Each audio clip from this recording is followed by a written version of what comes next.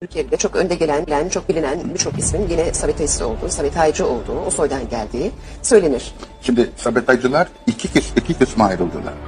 Sabetay Sevi'nin isteği üzerine bir kısım Şam'a gitti yerleşti. Bir kısım Selanik'te kaldı. Bu Selanik'tekiler harp okulunu bitirenler İstanbul geldikleri zaman başlattıkları genç e, Türkler harekatını devam ettirdiler. İşte biraz Atatürk'le var. Nitekim Mustafa Kemal'in en büyük düşmanı Enver'di. Çünkü Enver Sabetayist değil. Şimdi bu yazılmayan tarihtir. Bunu size öğretmezler.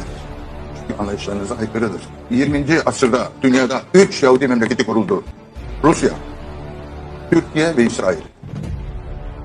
Bu Türkiye'yi Sabetaycılar kurdu. Atatürk'le beraber.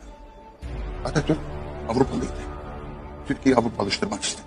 Onun için bugünkü vaziyete geldik.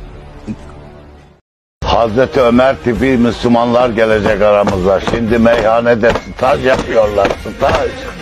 Allah onları solcuların arasına, sarhoşların arasına teaddi iktidarı kazansınlar. Ezik değil, dayak yemiş Müslümanlar gibi ezik değil. Teaddi diri Müslümanlar olsunlar diye onlar staja gönderdi. Onlar hepsi bizim malımız, bize gelecek. Babaları, dedeleri 200 sene evvel sabah namazına koşarak giden adamlar. Bunlar bu Kemalist inkılabın kurbanı. Allah onlara yeniden hay ismi şerifiyle hayat verecek. Ve aramıza dönecek. Cellileri gördüğünüz zaman anlayın ki zafer yakındır. Yarınlar İslam'ın. Daha Roma'yı fethedeceğiz.